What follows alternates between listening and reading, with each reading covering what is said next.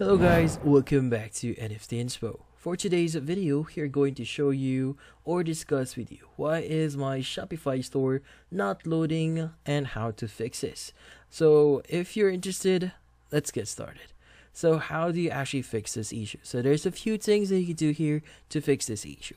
So one of the first things that you can do here is checking your settings and your plan. So go to shopify.com, log in into your account and open up your admin dashboard here and we want to go to the settings at the bottom left.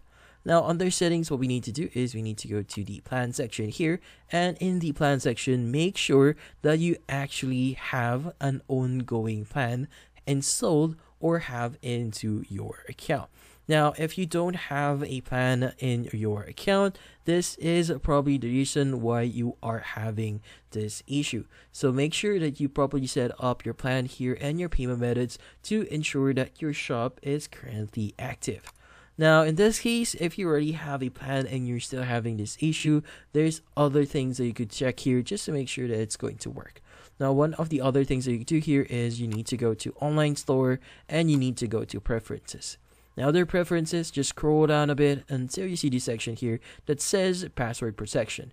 Now in this case, going to say restrict access to visitors with the password.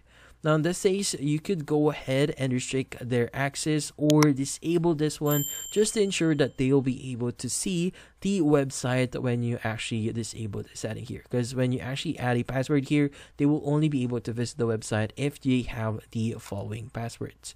Now in this case, uh, how do we actually uh, fix this issue if that doesn't work?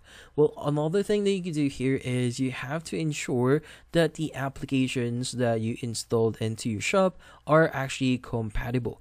Now, sometimes when you actually install uh, themes or even applications, sometimes this would actually affect your website in general, and sometimes uninstalling applications or extensions into your Shopify could actually work or solve this issue.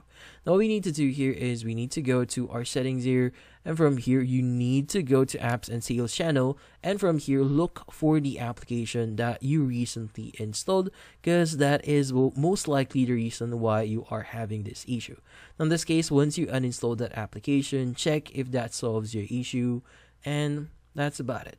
So from here on, if you still want to use that application, you might need to look into further what are the applications that are actually contradicting each other just to make sure that this will work in the future. Or you could go ahead and find a, a different application or uh, extension or application in Shopify that does the same thing. But that's about it. So hopefully this video was able to help you. Like and subscribe to NFT Inspo. Thank you for watching.